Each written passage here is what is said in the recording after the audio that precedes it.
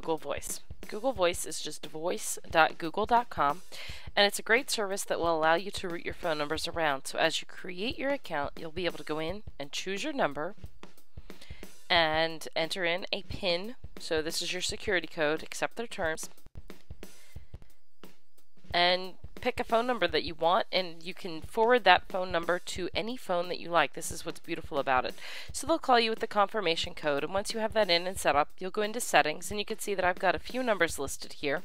You could add phones in that you would like. You can create custom voicemail greetings depending upon who it is that's calling you. You can record your name and send your voicemail over to your email. You can forward your voicemail to cell phones.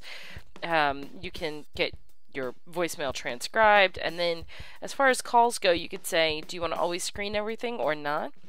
You can set it to display your Google Voice phone number whenever you're calling somebody else and you forward that call. So you can't make a call out really from Google Voice, but it connects to one of your other phones.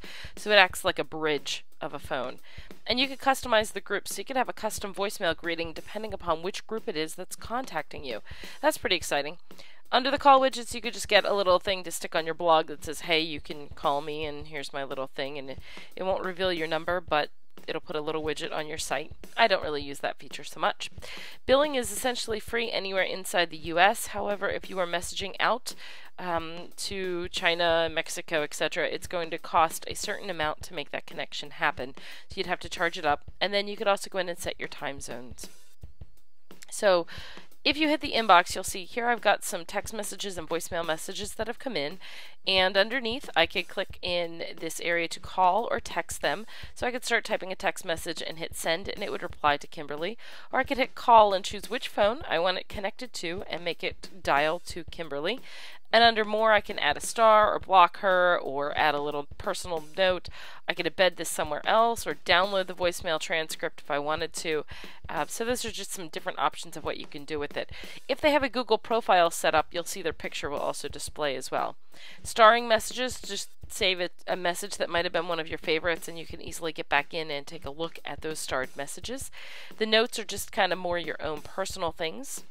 And um, as you were going through and checking the other settings, you can see that here are my groups that are listed in my Google Contacts. And so under Contacts, this hooks up with my Gmail contacts or other contacts that I have. You can navigate through and easily see what your voicemail inbox looks like, the text messages, all of those things. You can invite a friend, and um, overall, it's just a really great application to make use of. It's a good way to route your calls around. In the top left, you'll be able to call and text to various people and you can pick out which countries you're sending it to and again decide which thing it is that you want to um, which phone it is that you want to dial it to and start typing their name and it will automatically recognize them.